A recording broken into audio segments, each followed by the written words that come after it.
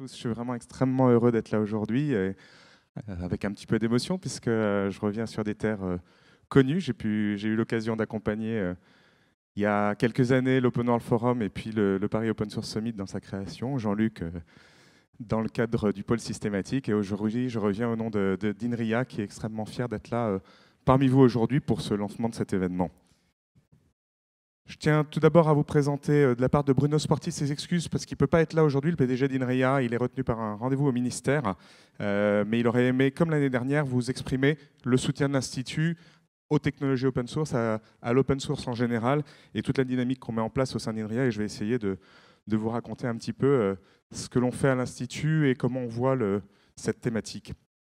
depuis un an, INRIA a, mis en place une nouvelle stratégie, un nouveau contrat avec euh, ces ministères de tutelle, le ministère de l'Industrie, le ministère de la Recherche, dans lequel on affirme euh, deux choses très importantes pour, euh, l'Institut. INRIA est un institut national de recherche dans les sciences du numérique, et donc l'excellence scientifique est évidemment au cœur de notre activité, mais aussi, et c'est important de le dire, euh, et c'est particulier dans l'environnement dans français, l'impact économique. L'impact économique euh, qui fait partie de notre ADN sous tutelle du ministère de, l'Industrie et donc qui nous, qui nous drive. On est au cœur des sujets que vous abordez ici au Paris Open Source Summit, puisque la thématique d'INRIA, c'est le numérique, et on sait bien qu'à l'ère de la transformation numérique, le, le sujet est central pour la transformation euh, de la société et de l'industrie. Et il est central, mais il faut rappeler que c'est, et c'est très important, à travers des objets euh, parfois méconnus, que euh, cette transformation numérique s'opère. Ces objets, ce sont les logiciels. Ces logiciels, ils ont une particularité et ils ne sont pas à traiter comme tous les objets que l'on peut retrouver. Et dans notre domaine à nous, euh, chercheurs euh, au sein d'un institut de recherche pour l'activité scientifique, l'activité d'innovation. On a cette particularité que le logiciel est un objet extrêmement malléable, extrêmement flexible, euh, qu'il s'appuie avant tout sur des hommes et des femmes, des, des compétences, qu'il se traduit par des, par l'implémentation d'algorithmes, de, de, de, théorèmes dans des, dans des logiciels avec des, des, langages, mais que ces algorithmes un petit peu loin souvent euh, euh, des procédés ou des molécules ne se brevettent pas ou difficilement et qu'il va falloir trouver autre chose pour, euh, les accompagner. Dans le domaine scientifique, le logiciel, eh bien, grâce notamment à la dynamique de, de l'open source, peut se développer et le sujet représente plusieurs dimensions. La première dimension, c'est que le logiciel et l'open source en particulier, c'est un objet de recherche à part entière les chercheurs d'INRIA, pour un bon nombre d'entre eux, travaillent sur l'essence même de ce qu'est l'open source.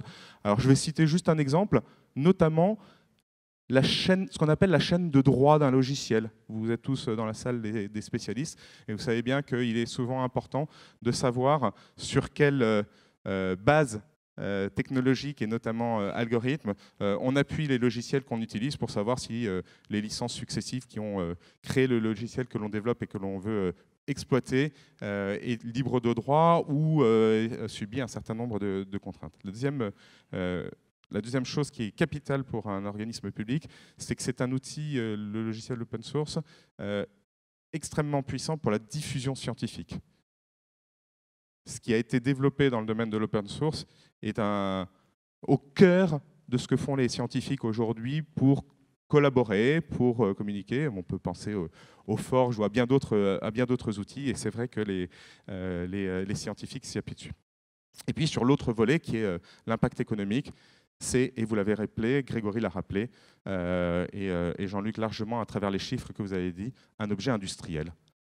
En effet, l'open source, c'est une façon pour le monde industriel, pour le monde socio-économique, de mutualiser des risques, de mutualiser des coûts, d'investir dans des plateformes technologiques qui font le cœur de leur transformation et qui seront le cœur de leur transformation.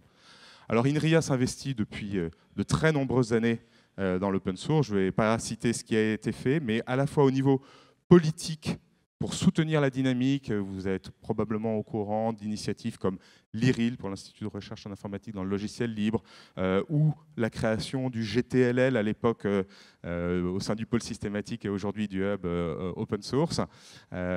IRIA s'investit aussi en tant que producteur de technologie open source. il y a très longtemps, un compilateur que certains d'entre vous connaissent s'appelle GCC, était au cœur des activités de l'Institut ou des, des, logiciels comme Scilab. Et puis plus récemment, je suis un petit peu plus euh, connus parce que largement téléchargés comme euh, Scikit-learn font l'objet de, l'activité euh, des, chercheurs de l'INRIA. Je ne vais pas être très très long, mais juste vous donner la perspective sur deux axes majeurs que l'on veut développer à partir d'aujourd'hui. le premier, c'est l'open source et son lien avec l'open science. Open science, pour ceux qui ne sont pas obligatoirement familiers du sujet, c'est le fait d'ouvrir euh, l'activité scientifique à la transparence, à la visibilité, à l'accès du plus grand nombre. L'open science est très largement porté aujourd'hui au niveau français et européen, mais à travers deux piliers qui sont euh, posés sur la table. Le premier, c'est l'ouverture des publications scientifiques et l'accès des publications scientifiques. Euh, pour ceux qui connaissent, HAL, HAL est une librairie où on dépose ses publications scientifiques et qui permet à chacun d'y accéder. Et puis le deuxième pilier, je ne vais pas m'étendre dessus, c'est l'open data. et il en manque un. Il nous semble qu'il en manque un. Le, dernier, c'est le pilier du logiciel. Et il est indispensable. Et on est, euh, vous le savez probablement, et il y aura euh, une intervention sur le sujet avec Roberto Di Cosmo, euh, extrêmement actif pour développer une librairie qui s'appelle Software Heritage et qui vise à capitaliser à la fois tous les logiciels présents et l'historique de ces logiciels. Et enfin, le deuxième enjeu, c'est un enjeu qui est plus business. Euh, je crois que c'est euh, Grégory qui l'évoquait ou Jean-Luc tout à l'heure. Euh, l'open source, c'est une solution extrêmement puissante pour mettre à disposition du monde socio-économique des plateformes qui sont des plateformes pour la souveraineté. C'est Jean-Luc qui l'évoquait. On veut à INRIA soutenir cette dynamique-là. On a lancé en interne une structure qui s'appelle INRIASoft qui, qui soutient des consortiums open source qui ont une visibilité internationale. Et on veut lancer en 2020 INRIA Academy qui sera au service des industriels pour former un maximum de gens sur ces technologies open source, premier lieu desquels j'évoquais tout à l'heure scikit-learn. Voilà, je vais m'arrêter là parce que je vois des signes euh, qui fait que j'ai déjà dépassé. Euh, je vous remercie. Je voulais juste dire qu'INRIA a renouvelé et, et, renouvelle son soutien euh, indéfectible à Paris Open Source Summit. On s'est engagé pour les trois prochaines années à être sponsor au meilleur niveau et on vous souhaite une très très très belle édition 2019. Merci à tous.